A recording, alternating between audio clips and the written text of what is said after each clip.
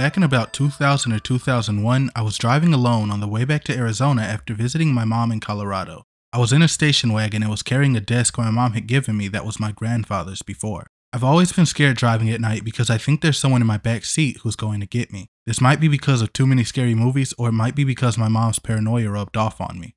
I was in the army and drove back and forth a lot to visit her, and she would always get mad at me for sleeping at rest stops or gas stations and tell me that someone was going to kidnap me and kill me. I just didn't want to be bothered with the hassle and expense of a motel most of the time. But I digress. So I'm driving an empty stretch of highway late at night with no other cars around. This red truck comes up behind me, flashing his lights and honking his horn at me. I thought to myself that there was something wrong with my car, or maybe there was something wrong with the desk in the hatchback. Why else would he be so insistent on pulling me over? So I pull over and get out of my car, a bad choice I chalk up to me being in my mid 20s and naive. As I'm getting out of my car, he's directly behind me and still flashing his lights and honking his horn. I planned on going to the back to see what could have been wrong with my car, and I got to about the middle of the car when it hit me. Why is he still honking at me? Then he got out of his truck, and that's when I knew something wasn't right. I jumped back in my car and sped off. The next exit was 45 miles or more away. He followed me the entire time. I take the first exit and go to a crowded grocery store with a laundromat right next to it. There was an ambulance parked there with its lights flashing, so I parked right next to it. I figured if there was an ambulance, there eventually would be a police officer too. The man stayed in his truck in the grocery store parking lot watching me the entire time. I was terrified. I didn't want to get out of my car and felt like I'd sound like an idiot if I tried to tell someone what happened. I waited about an hour before he finally left. After he left, I waited a little longer before continuing my drive back to Arizona. I was paranoid and on the lookout for any red trucks the entire time. Fast forward about five or six years. I'm watching Unsolved Mysteries or some similar type of crime show with my husband at the time who already knew the story since we were dating back then. And what story pops up on the show? One about a man on that exact same stretch of highway with a red truck who used those exact same tactics to get a few women to pull over and murdered them. I'm really glad my gut told me something was wrong and to get back in my car and drive.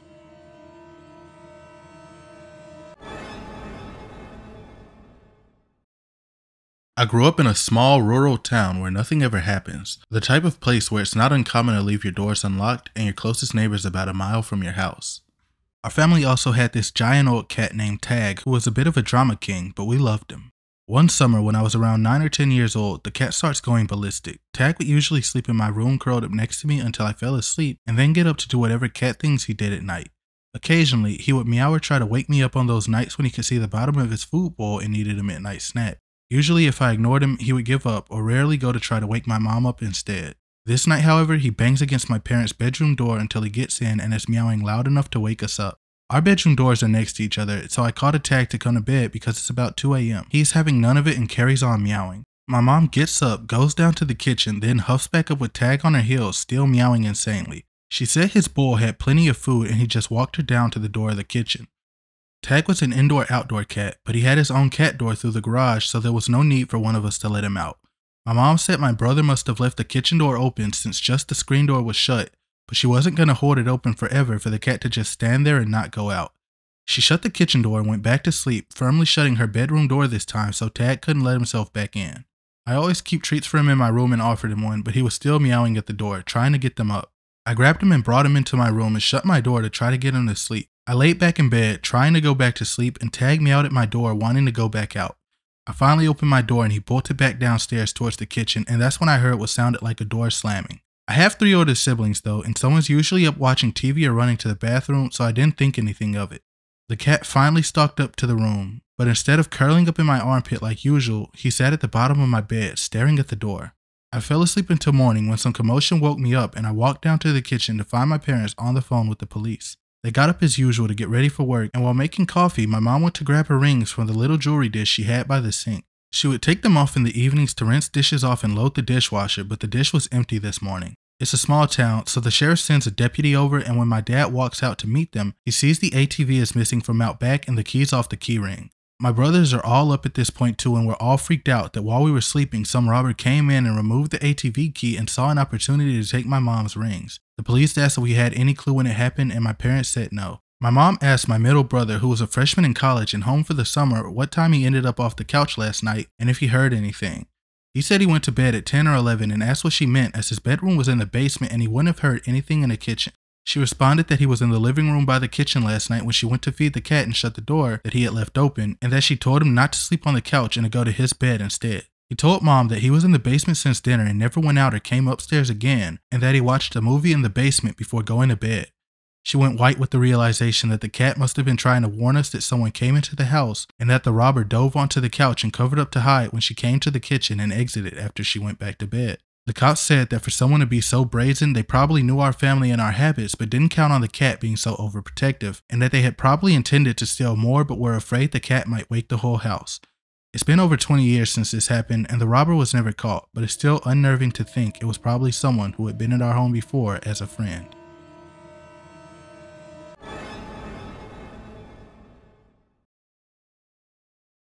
This happened about 15 years ago. I was 21 years old at the time and living in my very first apartment.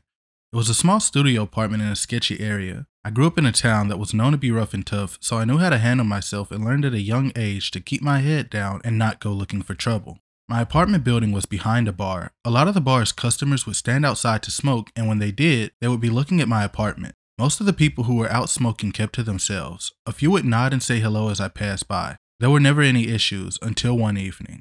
One evening I came home from work. I passed the bar and saw this extremely tall man outside smoking. As I passed, he just stared at me. I gave him a slight nod, but he didn't acknowledge me. He just continued to stare.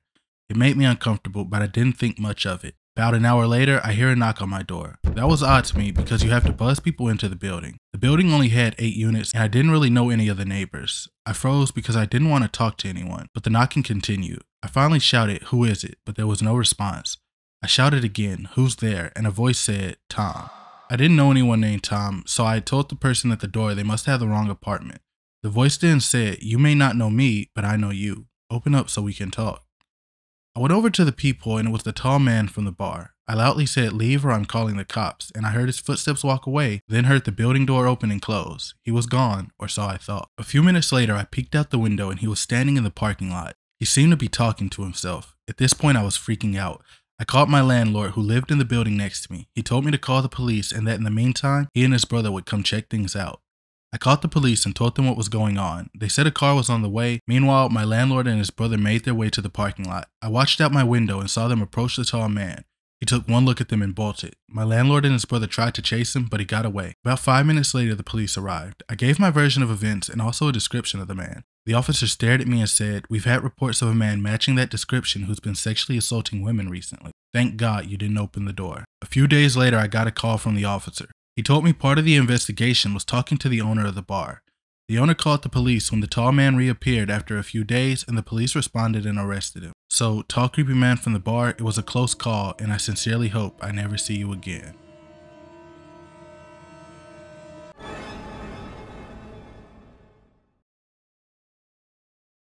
I used to work the night shift when I first started here in the prison. I always signed up for the rover job, but I never got it. The rover is a guard who sits in the guard shack and makes rounds twice a shift to check every door and gate to make sure they're locked and checks the perimeter fences to make sure they haven't been tampered with. One night, I finally got what I thought was going to be the easiest shift I ever had. I got to be the rover. During the shift, my first trip around the perimeter went just fine. Everything was as it should be. However, my second go around was a little different. I was patrolling the tunnel access points and checking the gates and doors as I had done earlier that day. In the tunnel, there are three books that the rover must sign to prove they had made their appointed rounds. I had already signed books A and B and just had book C to go. Book C could be found down a long and dark corridor. Picture a long hallway with one bare bulb lighting up a bit of the path every 20 or 30 feet. I entered the hallway and closed and locked the gate behind me. As I started to walk towards the book at the end of the hall, I heard footsteps behind me. I hurried to the first patch of light and looked behind me. No one there. When I stopped, so did the accompanying footsteps, so I wrote it off as an echo. I continued on, and as soon as I exited the patch of light, the footsteps returned, this time a little faster, almost as if they were trying to catch up with me.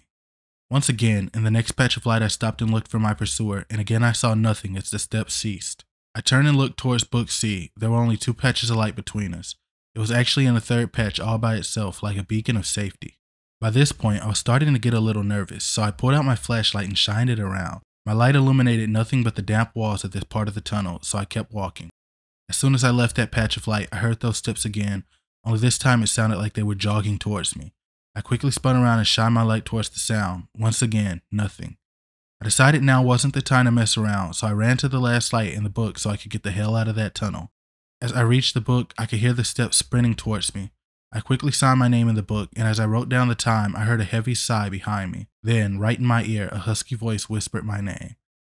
I slowly turned my head towards the sigh. Still seeing nothing, I sprinted out of there, stopping only long enough to lock the doors behind me. I still get goosebumps thinking about it. I can still feel the breath on my ear from when it whispered my name. I put in a shift change right away and never signed up for rover duty again.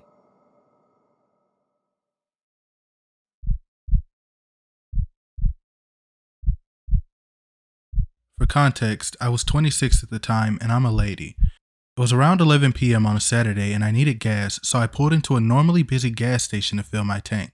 Strangely, it was completely empty, not a car in sight. I also live in Alaska and it was very cold that night, maybe about minus 10 degrees.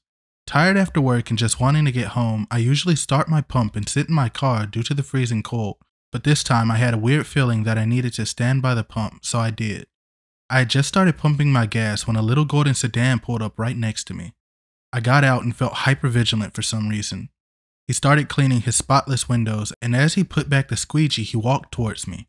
I felt like I wanted to run, but I stayed calm and continued pumping. He asked me if I would help him put the windshield wiper fluid in his car because he ran out and didn't know how to open the hood. I laughed it off and told him I didn't know either, which was a lie. He kept getting closer and closer to me while trying to lure me into his car, saying there was something under his seat he couldn't reach because he was too big. Now I'm 5'2 and small, and this man was large and scruffy. Think Alaska wilderness type of guy. At this point, I'm freaking out and I hit the call button on the pump. He took a step back and started to get back in his car. I thought I was being smart. My gas was almost done when I looked in his car and noticed the insides of the doors had no handles except for the driver door, which freaked me out. I was putting my pump back and opening my door when he appeared right behind me, slammed my door shut, and yelled, You're coming with me. Obviously, I refused. I was too scared to move. He grabbed my arm and slammed me against my car, and I elbowed him as hard as I could, and I started to scream at the top of my lungs. Thank God for the gas station attendant with the big gun that night, because if not for him, I don't know what would have happened. The attendant pulled the video, and we made a police report. I called immediately after he took off, but I never heard anything else about it. I just hope he didn't catch some other girl alone.